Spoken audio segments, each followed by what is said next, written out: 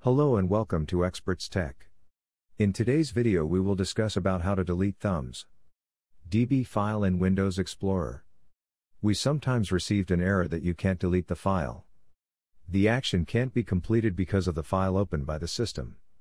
When multiple users are logged in on the Windows server they may have opened the files or sometimes those files are supporting other programs or files for some operations.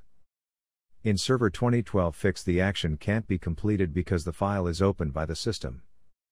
When we check in Task Manager we might not able to find those files opened and gets a hard time deleting them. Sometimes we need to reboot the computer to delete these types of files but in a case of a Windows server, we can't reboot the server.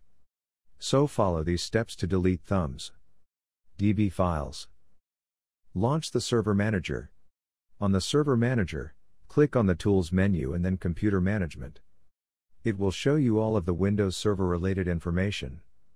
Now expand the Shared Folders, where you will find three more folders under Shared Folders, click on the Open Files folder. It will show you all of the files being opened by users logged on the server or who have been disconnected from the server login session but the files are open. Search for the file in the list you wanted to remove but were unable to remove the file. In my case, it is a thumb. DB that is under a folder. In the Open Files list, right click Open File or folder where the file we want to delete is listed. It will open up a menu and give you the option to delete the file. Click on Close Open File. Delete thumbs. DB file. Now go back to the original location where the file was placed and you wish to delete it. Right click on the file and then select Delete. The file will get deleted.